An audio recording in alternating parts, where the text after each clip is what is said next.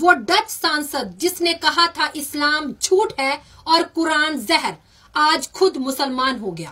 Hello دوستو، ہر زمانے میں اسلام کے دشمن اپنی دشمنی میں حد سے آگے نکلتے رہے ہیں۔ آج اس آدھونک یگ میں آدھونک پلیٹ فارم پر موجود دشمنوں کو دیکھتے ہوئے سوچا کیوں نہ کچھ اسلام دشمنوں کی جو دوست بن چکے تھے، کی جانکاری ایک جگہ جمع کر دی جائے۔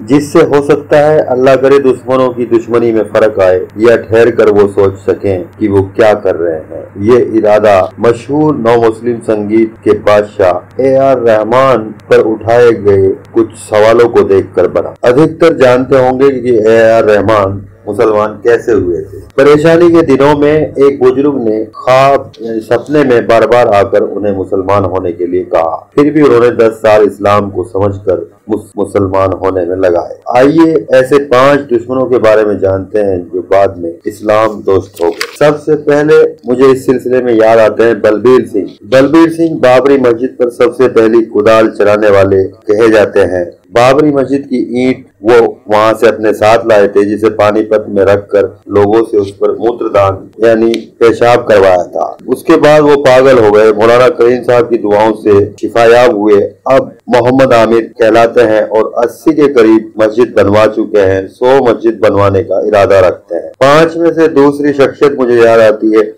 گیری میلر جنہوں نے قرآن میں کمیاں نکالنے کے لیے ریسرچ کی اور قرآن پر سوچ وچار اور ریسرچ کرنے کے بعد قرآن کو ادھت پایا۔ کئی کتابیں ان کی اسلام کو فائدہ پہنچا رہی ہیں۔ امیجنگ قرآن اردو میں اور ہندی میں پڑھ سکتے ہیں۔ سب سے مقبول کتاب رہی۔ تیسرے اسلام دشمن جو فتنہ فلم سے مسلمانوں کو رنجیدہ کر دینے والی ٹیم سے بھی جڑے تھے۔ آرناڈ وان ڈون۔